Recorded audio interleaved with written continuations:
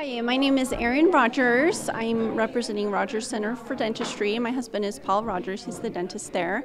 And I've been a Rotarian for about two years now, and they asked me to be president right away. So I accepted. I love being part of the Rotary Club, it's wonderful. Um, and I love this dictionary project. We didn't get to do it last year um, because of the pandemic, and they were worried about having any kind of presentations in the school, so it's wonderful able to do it again this year. And we cover all of the Nebo School District elementary schools, all the third graders. There's the definitions of words, yes, but there's also um, lists of every president and a little biographical sketch. There's scientific information. It's like it's like a mini encyclopedia also. So it's just a great way to help kids get excited about learning. I actually the first time I was going to do it, I thought, you know, dictionaries are out of date. Maybe they want tablets. Maybe they want, you know, some other format to get their information they'd be more excited about. Um, so I, I did it the first year just to try it out and coming into the schools and seeing how excited the third graders get.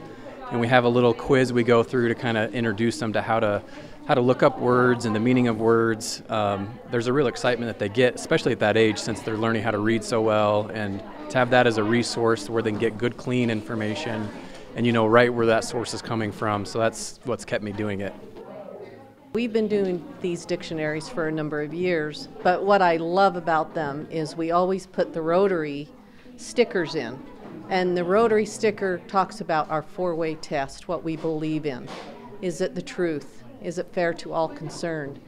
And when I take the dictionaries to the students, we always make a point to show them the sticker and say, this is what we believe in. These are our beliefs. And this is the Rotary Club is a service organization. And and the kids are so excited that it's such a great age. I just I just love it. I'm Rick Ainge, and this is my wife Deanne. Uh, we've been working with the Rotary on this uh, dictionary project for three or four years now. Uh, we just we love this project. We think it's it's really important for for these third graders to, to have their own dictionary and to be able to to to put their name in it and be able to learn really learn how to use a dictionary.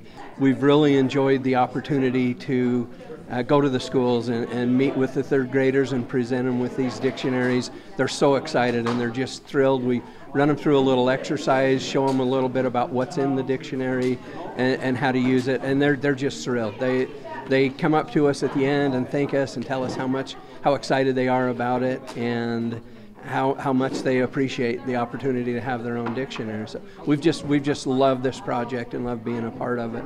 Yeah, they get so excited to do it, and we the first year was so rewarding for us because after we did it, we got um, a little packet in the mail from the cl- one of the classes, and they had actually taken the time to write us a letter and draw pictures of how much it meant to them to get these dictionaries, and we were just so excited to do it. It's so rewarding for us to just it means so much to them.